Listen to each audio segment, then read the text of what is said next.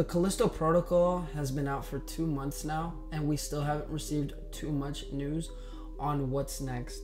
We got a roadmap detailing the future for the game and certain things that we should expect. And with that, I wanted to talk about that in today's video. If you guys do go on to enjoy today's video, I'd really appreciate if you guys can drop a like, subscribe if you guys are new, and leave a comment down below. And let me know what you guys think. Currently, as of late, the only thing that we have gotten was some patch updates that were very much needed, especially for the PC port of the Callisto Protocol. And I don't want to get you guys started what happened at launch for PC gamers of the Callisto Protocol. Me being one of them, I can just tell you guys from experience, it was horrible and I would never want someone to play the same way I played. I had to literally put down the game for a couple hours just because I was getting so fed up with all the crashes and I was just so excited to play the game, but those early first impressions that I got really killed my excitement.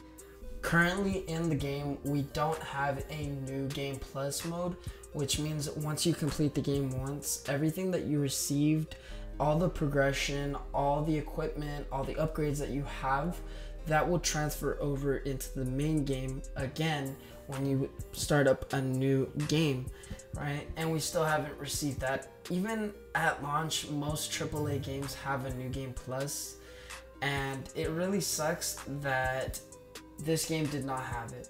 February 7th, though, that is supposed to change. We are going to be getting new game plus and we are also going to be getting a hardcore mode for those who like to challenge themselves a little bit more. Me, I don't really go for that, but I do understand there's a lot of people that like that kind of progression and that experience.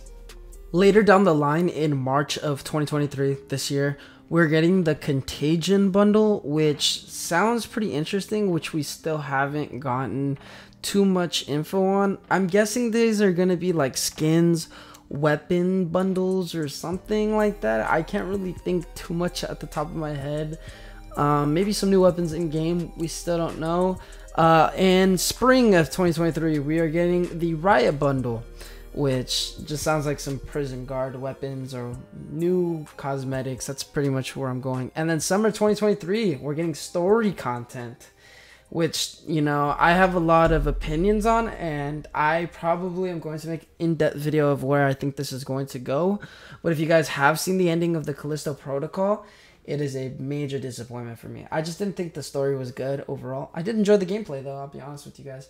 But summer 2023, where is that coming? We don't know. But that's gonna have to wrap up today's video, guys. It wasn't a long one. I didn't want to really talk too in depth and make a long video. But I hope you guys definitely did enjoy, and I'll catch you guys in the next one. Peace out.